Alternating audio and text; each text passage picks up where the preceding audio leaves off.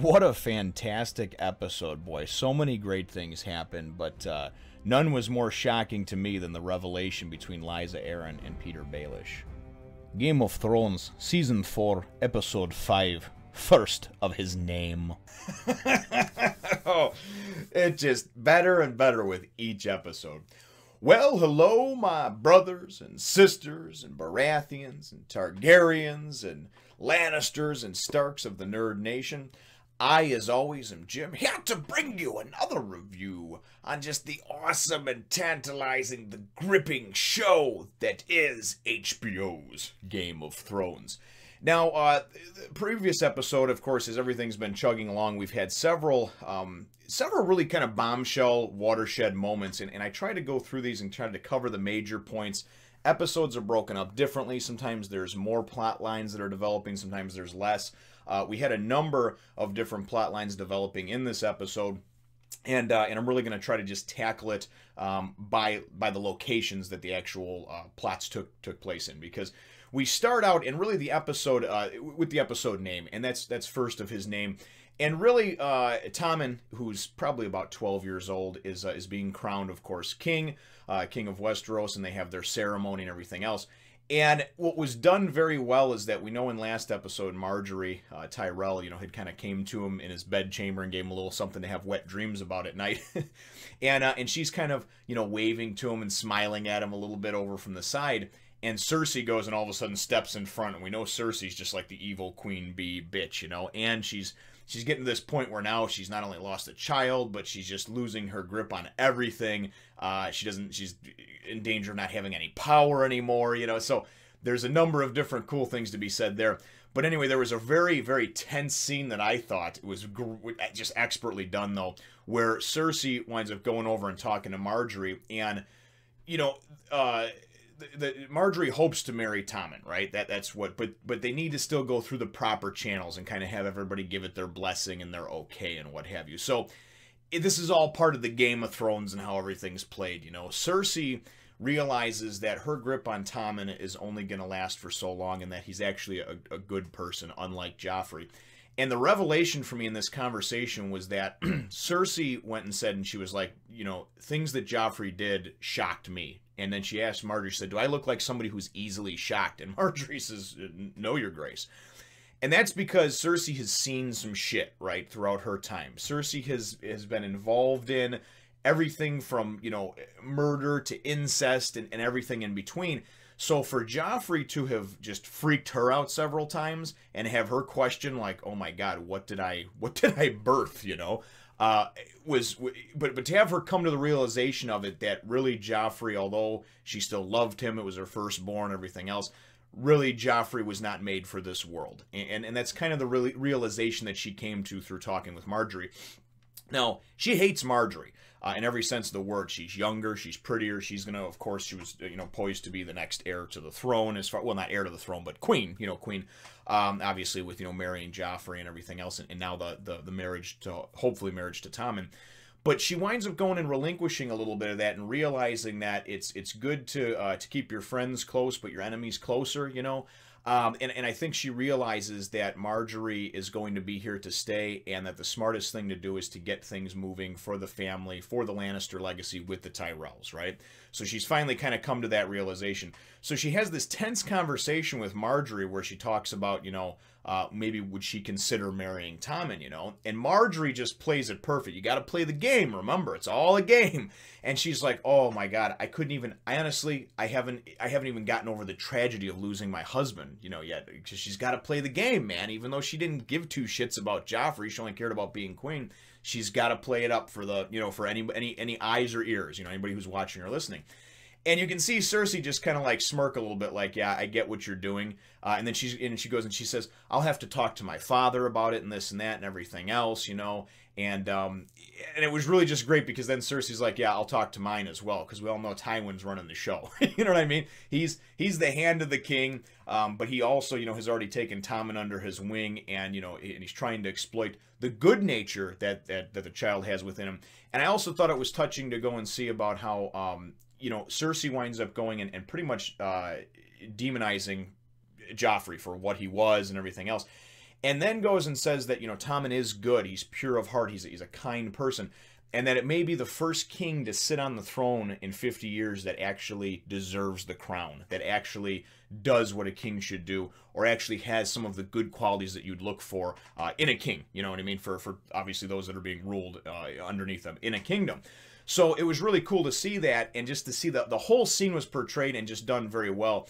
And, uh, you know, honestly, hats off to the actors, the actresses in here. They've got some big names, they've got some no names, but really everybody has just has just risen to the occasion. And this season especially, but there's just so many conversations that remind me of like just great Quentin Tarantino type movies like Pulp Fiction or Reservoir Dogs where they just it's it doesn't matter what's going on as far as the action and everything else it's it's what's coming out of the actors mouths and it's the words they're using and how they play off each other just done so well so Cersei, though, this is all her major, her her big plan because she still has it out for trying to kill her brother Tyrion, right? So then there's another scene uh, that, that takes place, and again, I'm doing them by the location, not as because scenes flop back and forth, and there was a couple of them that went, you know, and you saw at the beginning and then towards the middle, and so King's Landing. So then there's a, a great conversation as well between Cersei and Tywin, where she goes and, and proposes that whole, you know, marriage to him and everything else, and he says, and he agrees to it and says, okay, and when will they consummate it? And well, when he's old enough, and you know, when will they get married? In a fortnight, you know. And then he asks about her marriage to Loras, you know, because obviously he wants to go and kind of uh, cement uh, cement the relationship between the Lannisters or the Baratheons and the Tyrells, but also to go and put put some of the disgusting rumors about her and Jaime aside. Like, hey, listen, she married Loras, you know. But everybody knows Loras plays for the other team, so it's kind of odd. Uh, nonetheless, though, the conversation that the what, the piece that I took from the conversation that was great is that Cersei was trying to manipulate Tywin as being one of the judges that's actually going to judge over this trial uh, that that, Tyr- that for Tyrion for the the apparent murder of Joffrey, right? And she's trying to go and sway him, and he won't discuss any of the details of the trial with her, but she's trying to sway him by also, and then by also, not with just her words, but also her actions. The whole, I'm, I'll marry Loras, we have to do everything that's best for the realm. And then we find out that the Lannisters aren't really as wealthy as everybody thinks. The Lannisters, all their wealth has come from anybody who's read some of the history and things like that, is that Casterly Rock is actually built on top of, and there's several gold and silver mines that are, are below it. Well, he asks Cersei how much, if she thinks, if she knows how much gold it was been mined there in the past year, and she says ounces, tons, what? He says it doesn't matter what you what. The the answer is the same.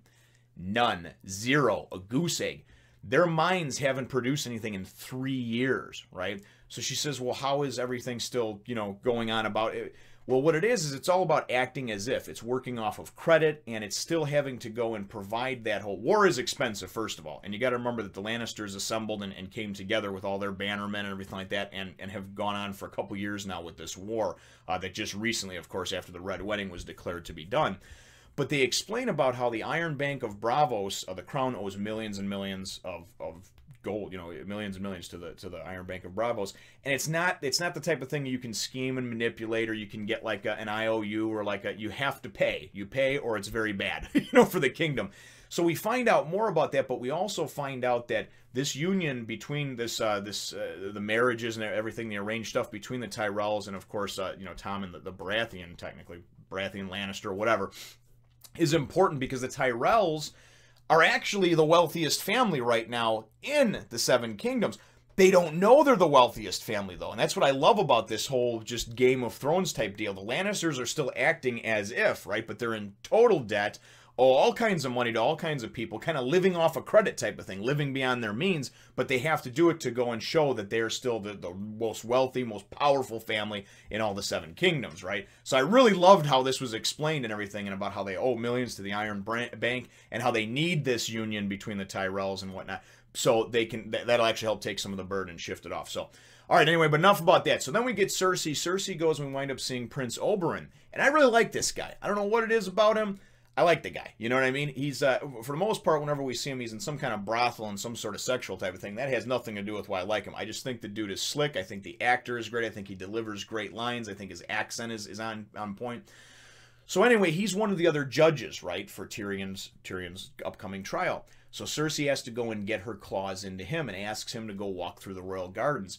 And as they go, and the shots were just great, the way they had these tracking shots as they were walking through the gardens and she's talking to him and, and she, what she does is she's playing on his heartstrings right? She talks about how her daughter got sent away you know which to, to dorne obviously and uh, and he says he has eight daughters and everything else and she talks to him about that and she plays on his family side of things right? Uh, tugs on his heartstrings as far as that goes because you know and then she talks about how you know losing her firstborn son joffrey and then of course uh, you know then, then of course her daughter being sent away a year ago. She hasn't seen her in over a year all you know and and what what I what I think she's trying to do well what I know she's trying to do she's trying to manipulate and sway his opinion and his vote being that he's a family man that he has kids himself kind of like hey Tyrion has to answer for this. He took one of my children from me. You know how would you feel if something like that happened to you? And then there's also this moment where they get out to the bay and she asks if he can uh, if he can bring back a, a, gift for that she's had the shipwrights working on this beautiful sailboat um, you know for her uh, for for her daughter and what have you. So it was it was done very well because the way she goes and gets her hooks into people and manipulates them, it's it's just amazing. And you actually, it's funny because as much as I hate Cersei for some of the things she did, this show is so good at making you also feel for a person as well. Because I also feel for her struggle and I feel for, uh, you know, her arranged marriage to Robert and all the bullshit that she's had to go through just because her last name was Lannister. And all the things she had to go through to become the queen. And maybe she didn't even want it to begin with, right? the whole point was is that she was kind of sold off almost into slavery or pushed off into an arranged marriage as many things like that happen in, in the in the seven kingdoms and there was a lot of bad things that were attached to it you know now don't get me wrong it isn't like she's a good person for going and being a brother fucker and sleeping with jaime and everything else and having you know Ill- illegitimate bastard children with him and all that stuff incestual children I'm not saying any of that's good, but I'm just saying that it actually makes you feel for her, you know. So just bravo, hats off to them. Done very, very well, I thought. So the next location that we kind of deal with, and this was um, a small part that we wound up dealing with, but but I, I, like seeing Daenerys. Whenever I see her on screen, I like her. I like what she does. I like what she brings uh, to the table. I didn't care for her much in season two because she seemed very whiny and, and entitled. Uh, but I've, I've liked her very much, her character and what she represents and stands for throughout the whole series, but especially last season into this season. So we wind up coming to find out that uh, now, of course, she's taken over Meereen and um, and that in addition to what I don't get is she's got 8,000 unsullied, she's got 2,000 of the second sons with her, right? So she's got 10,000 fighting force. But every city she's gone and taken over and freed slaves, they don't just all run off. I'm sure some of them have to join up with her and follow her. So I don't know if those ones are, you know, they just kind of relegate them to like, you know, cooks and supply wagon type people to kind of keep the, the soldiers fed. But whenever they talk about numbers, they never talk about their numbers having increased as she's gone through Slaver Bay and pretty much taken down every city on the way there. What we do find is that she has to make uh, her first difficult choice she can go and and uh, Daario has uh, Daario Naharis has has captured the 93 or 94 ships that they have in in Slaver Bay. They're in Meereen. And they can carry about about you know nine ten thousand troops over with them, and they can go they can raid King's Landing, right? They can go try to sack King's Landing. And she asks uh, Jorah, she says, "Well, can't you know can we?" And he says, "Well, you may be able to." But the thing about it is, we're not. You're not trying to take King's Landing. Once you take King's Landing, ten thousand is not going to be nearly enough to go and to take over anybody else that tries to fight back in the Seven Kingdoms. And she says, "Well, a lot of people support my claim." He says, no, what's what's ultimately going to happen is bannermen for whatever houses, they're going to do what they've always done. They're going to support whoever they think actually is going to win the war. So ones that think that she's just an upstart and doesn't, and, and it's just a little uprising and it'll be over, it'll be a rebellion that'll be quelled, they'll go and side with whoever's in power, whoever is convenient for them. So it's really all about, it's not about loyalty, it's all about people just kind of playing the hand they're dealt and just trying to do the best they can and make a bad situation, you know, uh, in, into something good or livable. So the neat thing was as though there was that choice, or he reports to her that uh, the cities that she's taken over and left, one of them, uh, you know, the, the, the, slavers have come back and now they've they've put people back in chains and they've swore to have vengeance upon her, probably hurting and killing these slaves as well to try to get her attention. Um, you know, and then another the, the, the last one that she took on, um, you know, she wound up uh, I, I, some guy named Cleon the Butcher took took over and you know went uh, basically took the uh, the council that she put in place, pretty much took them out, killed them, whatever, and took over. And what what it showed us is that you can have great intentions. You can go through and you can free these people, you can free these people, but if they have never known freedom and they don't have the proper infrastructure, the systems and controls that you need in place to make something run, to make a kingdom, to make a city, to make it run, then really it's going to leave it open to temptation. It's going to leave it open to the bad element. It's going to leave it open to opportunistic type of people. There's going to be people that are going to see everything in chaos and say, hey, the powers that be have been taken out now. I can be the new powers that be, right? So that's very much what it teaches you in here. And she has this difficult choice of being able to raid Westeros and possibly be able to take King's Landing and push through and, and get her claim and her birthright and everything else, right, as a Targaryen sitting on the throne again of Westeros. Or she can go and try to fix the issues that have happened in Slaver's Bay. And what I like is that the choice that she makes is that, you know what, I'm not, I'm going to be patient. I'm not going to be rash and hasty. I'm not going to go to Westeros and maybe lose, maybe win, whatever, right? If I can't go and if I can't rule over this these these couple of cities that I've taken over in this on this smaller scale, how the hell am I going to rule seven kingdoms? And that's really what I liked about her and I liked about her character. She's young and she's naive in a lot of senses, but she's been faced with adversity and this was her first real true test of like what should I do here, you know? And I think she made the right choice for right now. So, although it really would have been cool to see a nice rating on King's Landing with 10,000 men and ships and three dragons, I think that'll eventually happen. So, uh, nonetheless, though, very, very good stuff. Now, one of the other locations that I thought was great that we saw was uh, we, we wind up seeing uh, just kind of on the road to the wall, we see Podrick and Brienne of Tarth. And this was really more for comic relief than anything, I thought. Podrick is not really a very good squire. Squiring for Tyrion is really more, not really like a squire. It's really more just like an errand boy. You know, he fixed his meals, sent his messages, kind of wiped his ass type of things, right? Never really did anything. You can't even ride a horse properly. and Brienne's riding on her horse, and his horse is going to the left and to the right and in front of her. and it's just comical to watch the whole thing take place. But what I really liked about it is number one, I really like these two characters. I think it's a great, great dynamic duo team up, and I hope to see more from them. But as they sit down and he's he can't even cook a rabbit, right? You know, she obviously had went and killed a rabbit. Maybe he killed it. I don't know. But he's cooking the thing and he hasn't even skinned it. It starts on fire. The fur's on fire. He's stomping it out. She comes back with some firewood, and Brienne of Tarth is just like, "What in the hell? What? Can't you just leave? I release you from your oath, you know." And he doesn't care. He's he's still loyal, and I like Podrick. I love the guy. Um, just the character, you know, and just kind of he has this he has this sort of simple charm to him, you know. But anyway, we wind up finding out, and it's in a very touching uh, manner. She says, You know, how did you get to be this and that? What did you do? Have you ever killed anybody? He says, Yes, I did. And he explains in the Battle of Blackwater how he put a spear through the back of the head of one of the King's Guard that tried to kill Tyrion. And I think after that, Brienne has a little bit of respect for him, you know. I think that she looks at him, and I don't know if it's so much that she pities him, um, but I think that's that she looks at him and she thinks, you know what, he's been through some stuff and he's risen to the occasion when he needed to. And ultimately, he did the honorable thing and protected his master Tyrion, right? And uh, you know, so I, I, think that that's where that comes from because the Kingsguard are not, you know, they're obviously they're fully armored, they're trained, you know, they're not they're not to be trifled with. And here, the squire took one of them out, and even though it was a spear to the back of the head, he didn't see it coming. It was still the point, you know, it was done very well. So um, I really like the uh, this the scene, and then she goes and you know says reluctantly tells me he can come over and help her unstrap her armor because she's having trouble with it. So very very good stuff with that scene as well. I liked it. Um, the next scene that we went on to that I thought was kind of cool was uh, we saw, and it was a couple of scenes, but again, just the location is of course on the way to the Eyrie, uh, on the way to the Vale, I guess you would say, uh, to the Eyrie, is um, is Arya and the Hound. And these two are just great together. I mean, the chemistry they have is great. Maisie Williams, uh, or Maze, however you pronounce her name, uh, the actress that plays Arya, is just just wonderful.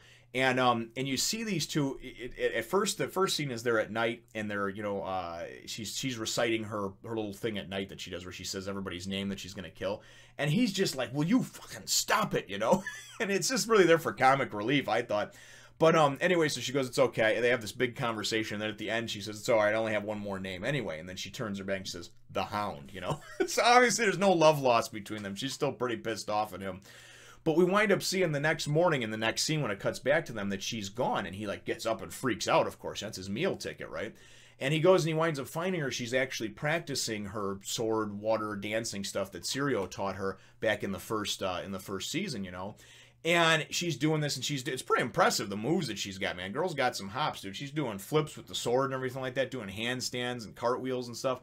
And anyway, what he winds up doing is he says he, he basically goes and has this conversation with her and explain like makes fun of the the fighting style to begin with of, of that the swordsman of Braavos, right?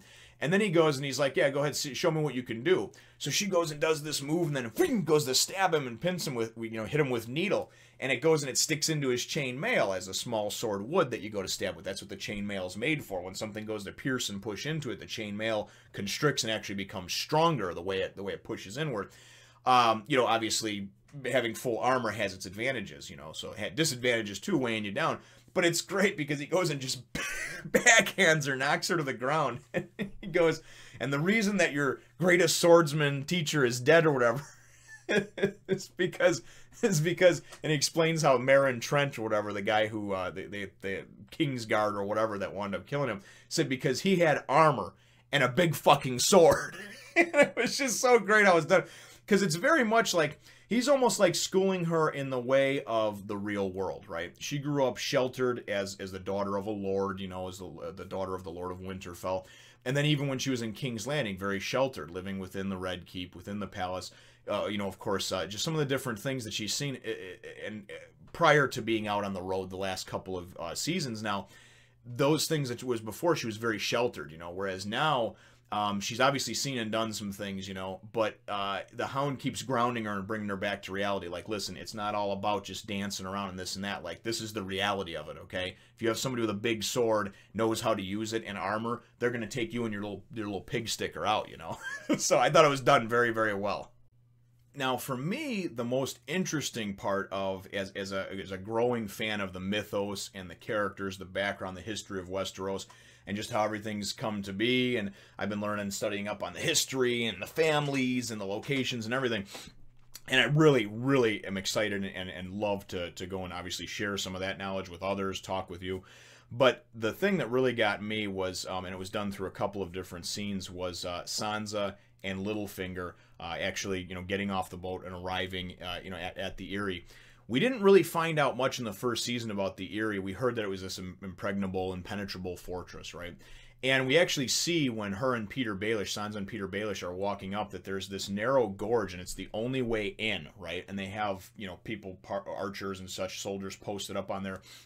And he explained that in the thousand years that this fortress has been there, um, it, it's never it's never been breached. And because of the way it's set up like it is, there's only this one way that would have to funnel people in three or four wide and they would just get slaughtered. So nobody has ever been able to mount a successful invasion on the Eyrie, right?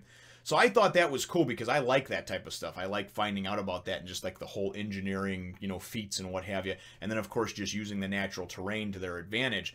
And um and and it also goes to show and it's a nice metaphor for what Petyr Baelish winds up saying and he says something he says when you when you have something like this set up one man can be worth 10,000 and what he means by that is that if you had a few hundred good soldiers they could hold off against hundreds of thousands because of this being this this bottleneck way and there, there's no other way to mount an assault on it right? And but it was also a metaphor it, it was a metaphor for what he's done. One man right that came from nothing that really just kind of had a grudge against everybody wealthier and richer than him and whatnot has manipulated pretty much every major power and major family in Westeros, and we find out very shortly after in the next scene uh, with Lysa Arryn has pretty much orchestrated every major event, uh, at least in Westeros, up until this point, you know, or had a hand in it, right? And that's what really dropped the bomb for me. I knew this guy was sharp, whether you love him or hate him, I don't care. I think the guy is, uh, I think he's, I think he's a genius the way he's put everything together. We know that he had a hand in and set everything up with uh, Olenna Tyrell now, obviously, um, you know, for, for the, the murder of King Joffrey. But the thing that was great is that when they actually get to the Eyrie, right, uh, to the fortress, and they go in, and uh, and Lysa Arryn, we see her again. We haven't seen her since the first season if you remember, he was going to go. He was sent to the Eyrie uh, to go and kind of like court Lysa Arryn, and and now that he's the um, now that he's been given Harrenhal and he's a lord and he has some titles to go and strengthen the kingdom and bring the Vale back into the fold. Because since her husband Jon Arryn was poisoned or was killed, right? Um, she's just the, the Vale has wanted to have nothing to do with with King's Landing, and they pretty much they can do whatever they want because of how they're segregated in this fortress, right? So his whole thought was, you know, or his whole goal was to bring them back in. That's what you thought. We find out after the introductions between her and Sansa, who she had never met but knew what she looked like, and Sansa goes off to do stuff. She goes and all of a sudden gets like to five, like stage five clinger craziness, right? And she grabs Petyr and she's like, "And we're gonna get married tonight, and this and that, and you're gonna fuck me so hard, and I'm gonna scream and blah blah." and he's kind of trying to put her off and everything else.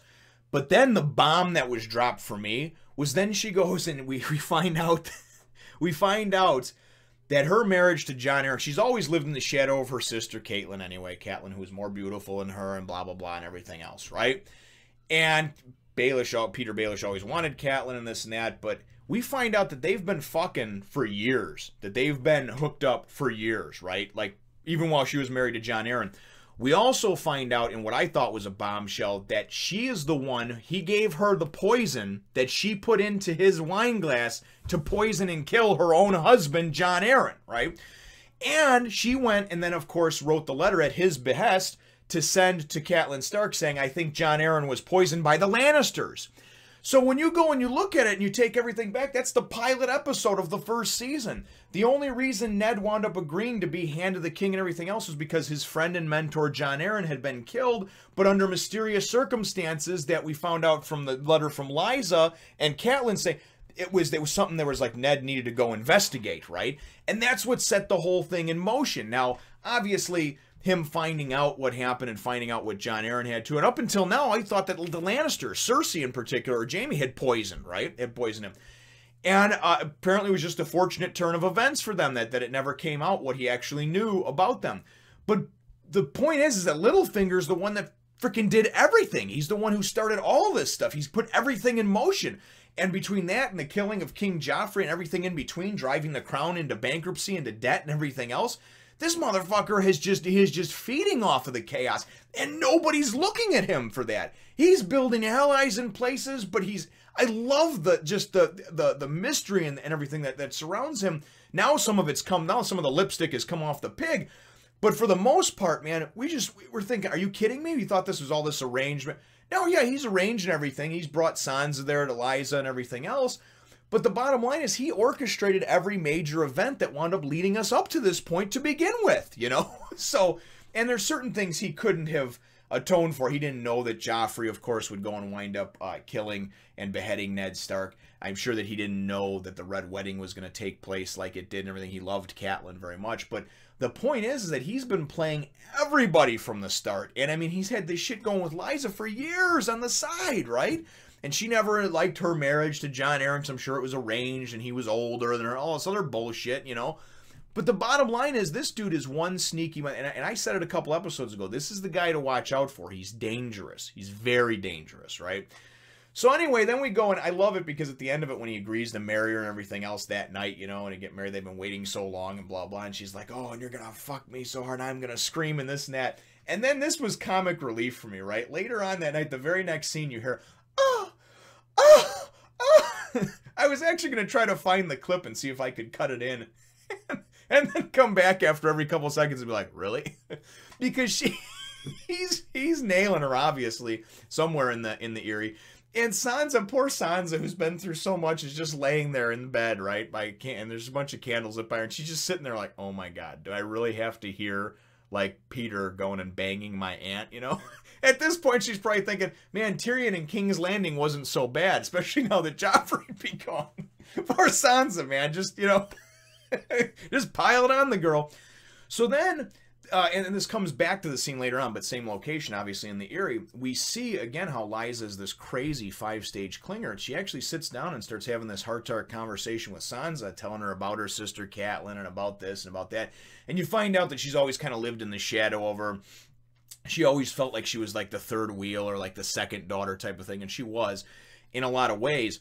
But she also goes and just goes completely fucking batshit crazy and grabs onto Sansa and starts digging into her hands and accusing Sansa of basically being a whore and letting Petyr go and, and bang her. She's so insecure because Petyr her if Petyr's first choice, of course, was Catelyn, her sister, who's now dead, and she figures that you know she just looks at Sansa as like another pretty Tully girl, you know, another another Catelyn Tully, you know, it's, it's her daughter. Why wouldn't Petyr want to bang her? Why didn't he bang her on the way over? And I mean, she flips, and Sansa's like in tears, crying. Sansa's probably just thinking, "Oh my God, things have gone from bad to worse, man. I thought it was bad living in the in the Red Keep and Joffrey and his craziness, but now this is what my aunt does to me. What the fuck?" So then at the end of it, she's like, "Oh, it's okay, it's okay," and she comes out of like psycho rage mode thing. But what this shows you is how smart Petyr Baelish is too This guy went and found somebody that he could manipulate, somebody who's emotionally weak and distraught that he could manipulate and play off of her and use it to his advantage to gain more power amongst the chaos. Love it. Just beautiful, you know. So anyway, for me, that was that was the, the crowning moment of the episode. But then the episode actually got better in a lot of ways because for those of you out there that were like, well, there wasn't much action, right? There wasn't much action. The last scene takes us up north to Castor's Keep, right? Or I'm sorry, Craster's Keep, was it Craster's Keep? I believe it was. And uh, and that, excuse me, and uh, and the mutineers that are up there, right? That guy Locke, who works for Roose Bolton and who was sent up there obviously to find out about, um, you know, about the Starks to see if he gets some information from Jon Snow or find out about Bran and Rickon. He goes and scouts out the area and finds like the the, the, the shed, the hut, whatever uh, that Jojen and Meera and Hodor and uh, and of course Bran are being kept uh, captive in. Right. He then comes back and reports to everybody that hey, there's eleven of them. They're drunk, this and that. But there's this area off on the west side of the camp that we shouldn't go into because there's dogs there, there's hounds, and we don't want to alert them. We want to be quiet and stealthy, right?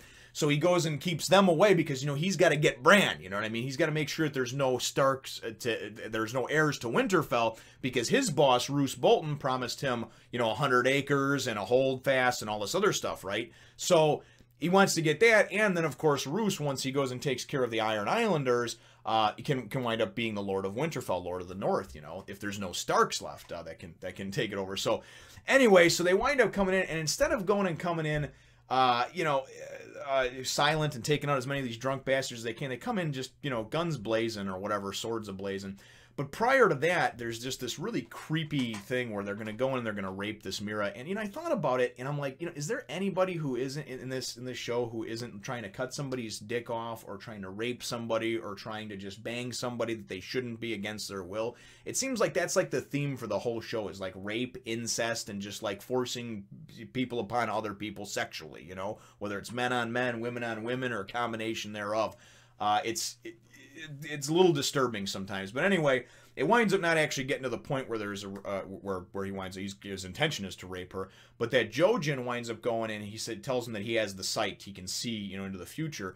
And this guy says, "Oh, well, can you see what I'm gonna do, raping your sister? And can you see them raping her?" And he goes, "No, but I see you dead." and I see you burning, you know. And right as that happens, all of a sudden, you know, there, you know, somebody's like, "Oh man, you know, the the, the, the Night's Watch are back. They're back for us," you know so in this in this kind of awkward scene, you see the Night's Watch charging in and trying to fight these guys, and Jon Snow, of course, being all valiant and killing a bunch of people. And this guy has to go, of course, take off the uh, you know the, the the, leader of the the mutineers.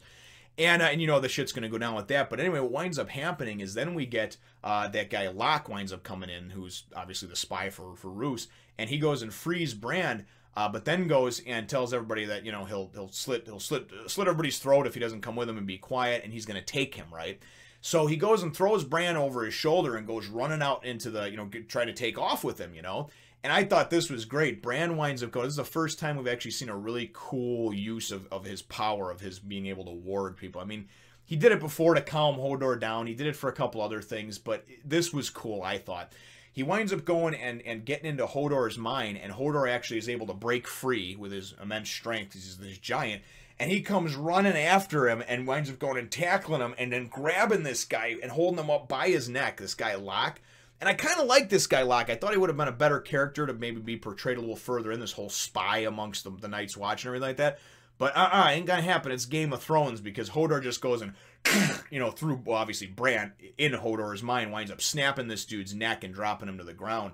And then what winds up happening after that to me really pissed me off. I understand from the book readers that this this diverged to begin with from the book, uh, but the books, but I don't really care about that because I don't read the books. Not to mention, I'm not a person who believes that it has to be 100% perfectly translated from book to to show. I believe that there should be some uh, there should be some extra added things that are put in there. There should be some deviations. Uh, because who wants to go and read something and then see the exact same thing on TV anyway? I know not me, not many people either. But there's so many complainers out there that the book deviates and everything else. That is, unfortunately, though, that's not the point. The book readers, I guess, will be happy because everything at the end here got back on track because all this shit technically didn't happen in the uh, in the book. So Bran is right there, right? And, and you got to feel bad for the Starks because all the Stark children, in addition to losing their mother and father and eldest brother and everything else, they've all been separated, right? I mean, Bran and Rickon were together for the majority of season three, but they've been separated now for a while. And he goes and he sees his brother, his bastard brother Jon Snow, and wants to go to him, right? And this little batshit ass white bastard Jojen goes and he's like, oh, well, but we gotta go. Jon will try to stop us, and we gotta go to the magical tree where we have the visions to see the three eyed raven, you know. And, you know, Jon, first of all, you got to give Jon a little more credit than that, okay? If Jon knew how important it was, and Bran and Jojen and everything explained it to him, explained what has happened and blah, blah, and everything else, who knows what Jon would do? Now, I know that this that this would deviate from the book, so the book readers would be angry. But to me, having them that close to each other and then having him, Bran, have to make the terrible choice of just maybe never seeing my brother again, this isn't like the modern times. You can't text him or send him a card to see how he's doing at the wall. You may never see that dude again. It takes months to travel from one area to another because of just the danger and the hundreds of miles and the, you know what I mean? And Bran is a cripple. He can't even walk now, you know? So Anyway, they wind up going off into the forest and go back on their journey. Everything's happy with the book people because now they're back on their journey, I guess, wherever Bran, wherever that takes Bran and Hodor and Jojen and Meera. And Jon Snow winds up having a, a final battle uh, with, uh, you know, with with this with this asswipe uh, mutineer at, at Craster's Keep, and it was it was done pretty well. Uh, the guy clearly had the upper hand on Jon Snow because he kind of he fights, you know, he fights with honor, he fights fair, he fights like he was taught, you know, as, as even though he's a bastard son, still as a son of a lord, you know. And this dude fights like with ferocity and just to win, you know. It doesn't matter if it's cheap or whatever. He's got, you know, he's wielding two swords, you know. Anyways, as it looks like Jon Jon Snow already gets stabbed after he got shot with three arrows at the end of last season by Ygritte. So Jon's getting all sorts of messed up, and it looks like he's going to wind up. There's not going to be any more Jon Snow, right? And which is a shame because I like him. And then uh, one of uh, Craster's daughters, wives, whatever the hell they were, winds up going and uh, and getting his attention. You know, winds up uh, you know distracting him, hitting him, whatever. And as he winds up going and turning to go get her, and he's gonna rape her before he. And, and these these this mutineer thing was so stupid anyway. You know, these guys want to go live north of the wall just so they can drink and rape people all day long. That's just again the theme of rape, right? So anyway, but at the end it was nice and satisfying because all of a sudden through the back of his head comes Jon Snow's sword from an upward from from a downward angle. So it winds up coming out the front of his head and face like this, you know, and then he pulls it out and the dude look look on his face as he just like fell pretty much right next to her was was great. The episode winds up ending with uh, you know Jon Snow and uh, they wind up losing Jon and uh, I think there was there was ten or eleven of them. I don't know how many of the, the brothers were. They wind up losing four though of the Night's Watch, four bro- four brothers of the Night's Watch and then they go and they they he, makes this speech to the women of Craster's Keep and says, "Hey, you can come with us. We'll find you jobs. We'll find you work." And they basically just said, "You know what? It doesn't matter. You know, I mean, we wind up getting hurt and beaten, raped by the Night's Watch people somehow or another. Anyway, it's kind of one of those like." It was almost like a feminist point of view, you know, like oh, no matter what, everything's going to be terrible for us, so we'll just we'll just be better off on our own and uh, and then they tell him to burn burn the place to the ground, burn everything to the ground, and that's how the, the episode ends a little bit abruptly with them just you know start setting everything and all the bodies, of course, on fire, and uh, and and then that's that's how we're left off. Um, obviously, next week's episode looks great. I'm very excited about it. All in all, though, for me, each week the episodes keep getting better. Uh, maybe it's because I'm delving into and finding out more about the history and lore and things like that. Um, but ultimately, I think it's just because it, it is so good. And, and, and as you get to know the characters better with each passing week, you feel excited to see them on screen, to see their their stories progress. And so far, ever in, in, season three, there were several stories that I was kind of like, eh, I could do without that. I don't really want to see that. In this season, pretty much everything that I've seen, I've really enjoyed.